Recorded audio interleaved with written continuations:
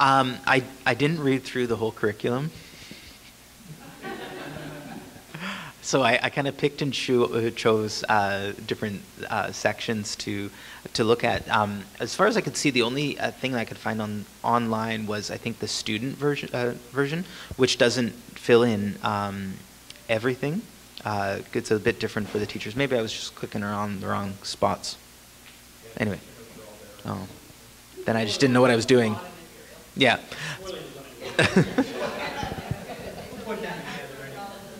We're causing controversy here. So, um, but I, I did in, enjoy a lot of uh, of what I saw um, it, in in the associate position that I, I had. My two of my main roles um, were this leadership development program that I talked about, which teaches does some has a theological education component, and then um, we did a, a, a similar uh, discipleship um, curriculum, uh, structured a, a, little bit differently, but I saw a lot of uh, similarities between the work that we've done and, and what um, Rob and you guys have set up.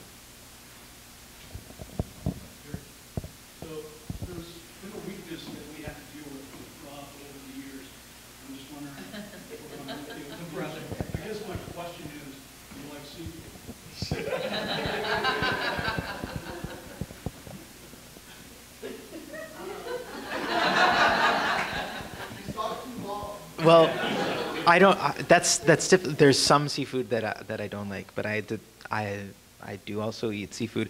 Um, you do have to overcome it if you grow up. See, you have to understand that the culture I grew up in, there was only one type of seafood, and that's prairie oysters, um, which I've never eaten. No. Um, but but fortunately, we've been broken in on the west coast, and so uh, enjoyed um, salmon and and sushi, and then beginning crab, and I've had some lobster. But I know the cuisine, the, the seafood cuisine, when you move to the other coast, is is uh, is different. So I, I don't know if I can fully answer the question. Do you like seafood? I like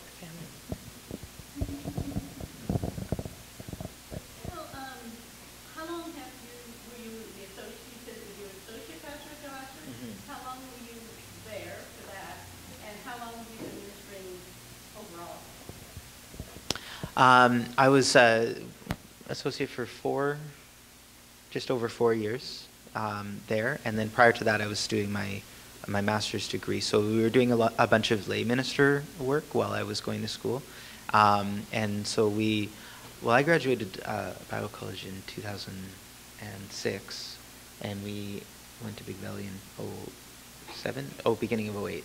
So yeah, so been in in ministry either vocationally or lay ministry since 2008. So eight years. Yeah.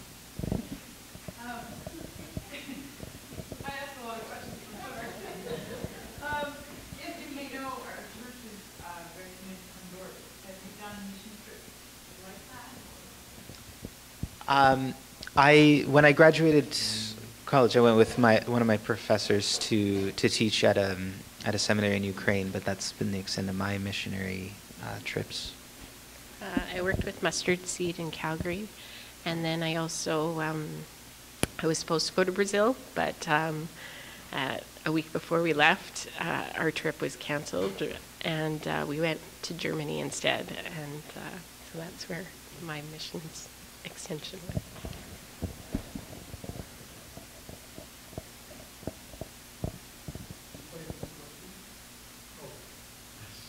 No. You play guitar. I, I own a guitar. I don't play a guitar. uh, I I like music a lot. I um, I play the harp now. Um, I have a flute that I play with the boys a little bit, and then I grew up with piano.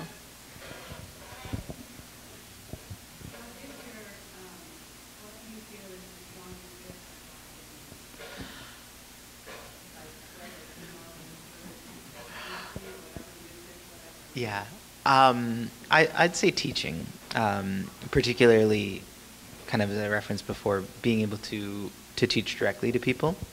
Um, some sometimes that gift is called individualization, so the ability to read people and to to help them directly. But uh, in terms of the the biblical outline gifts, I'd say teaching. And I would say either helps or hospitality for me. I like to have people over a lot, and um, whether it's just dinner and dessert or just coffee in the afternoon, I really like to have people. And games. We love games. We might have said that already. Oh, I, I used to be competitive, and then um, one Christmas uh, we were playing Ticket to Ride with Natasha's parents, and I saw her her mother completing a route that I needed, so I put one my trains in there, and and she cried a little bit, and I stopped being competitive then.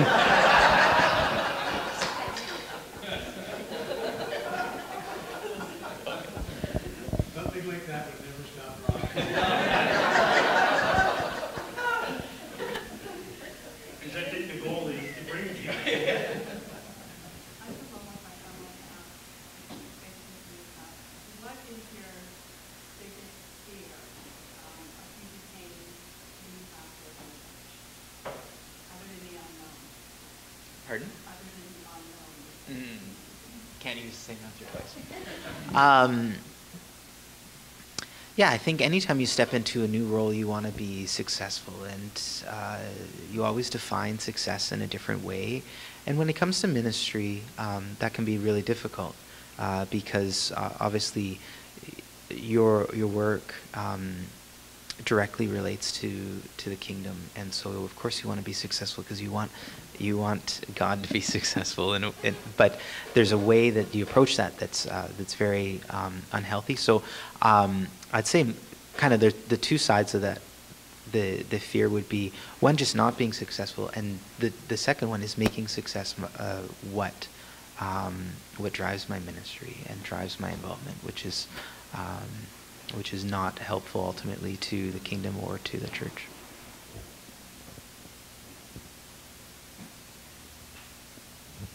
You don't have any, I know you said along with your family in the West, so do you have any friends or anything in the Atlantic area at all? Not yet. We have Ontario friends. We have the Cowlings and then. Um, That's kind of in the middle. I've always wanted to see the East Coast. My dad went to school at Yale, so on the East Coast of the states, and I've always wanted to, to go.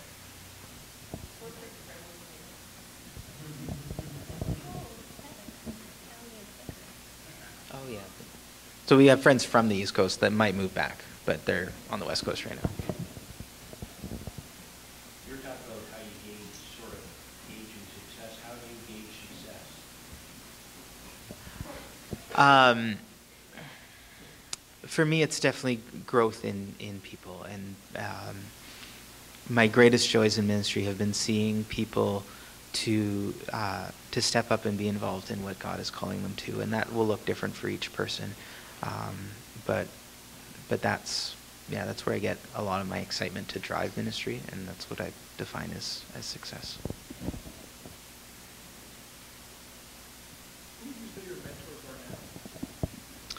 Uh, it, in in person or through? Okay, so um, I, I I talk a lot. Both of my brother-in-laws are in ministry, um, geographically distant from me. One headquartered in in Edmonton and one in North Africa. Um, but when I meet up with them, I, we I kind of I gain a lot uh, from them, and then we. Um, there's there's two guys that work in the, the ministry center of, of the denomination that we're we're involved in on the west coast that um, that I've really kind of been learning a lot from. And do you want me to just? Oh, that was. Did anyone do that, or that was just me? Okay, sorry.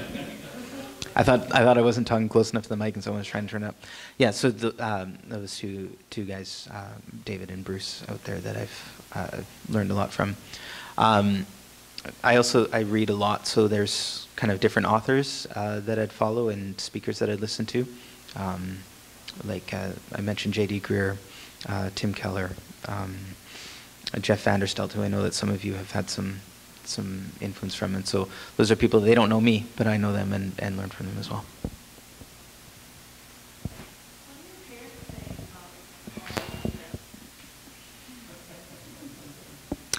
Um, as I, I mentioned, two two of my brother-in-laws are in in full-time uh, ministry, and so obviously that's my sisters, and so my parents are, and I'm the youngest. I didn't I didn't tell that in my story. I'm the youngest of four, uh, so my parents are kind of used to um, just what being in, in vocational ministry means.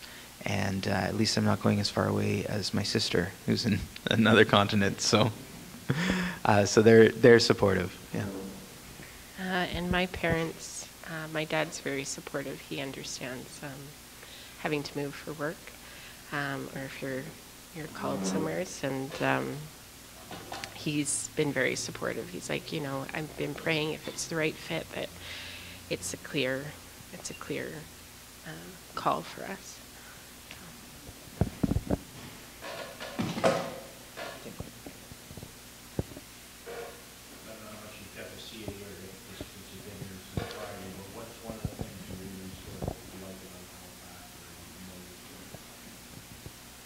Um, yeah, we. I think we learned.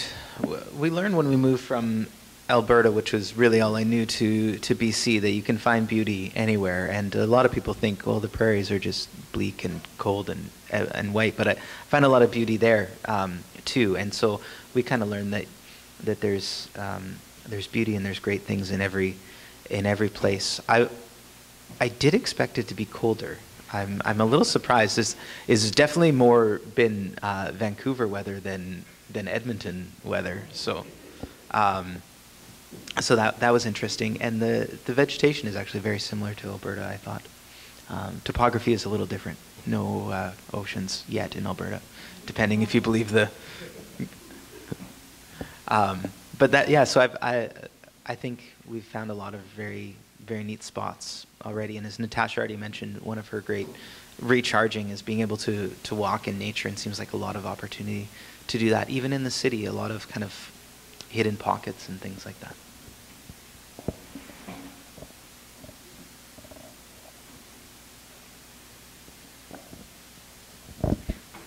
Look, she's like like ready to just race right off that stool.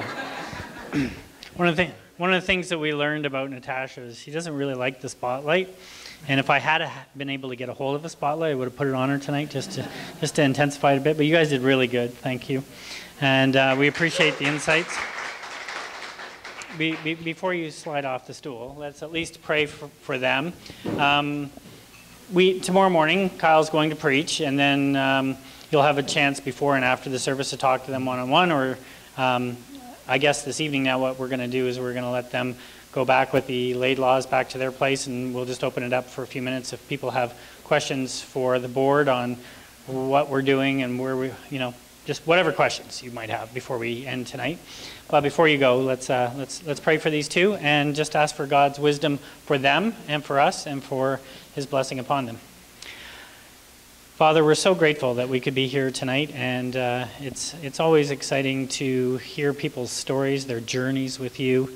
Um, it's even interesting and exciting for all of us to see how we've even gotten to this place where we have a, a need as a church, and they have um, a need for the next step in their ministry. And so we just ask, Father, that you would give uh, Kyle and, and Natasha wisdom as they come through this weekend to see and hear your voice and your leading clearly, that you would give us as a church uh, wisdom as to the step that you want us to take as a church.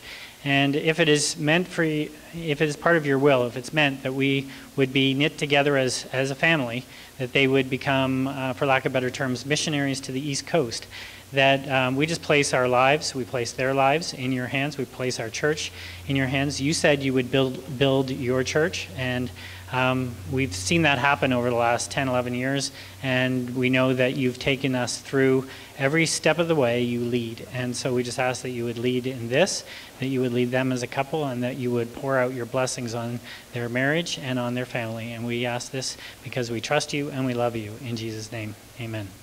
Thank you. What we'll do is we'll just take a five-minute break. You can do a washroom break, and um, maybe you can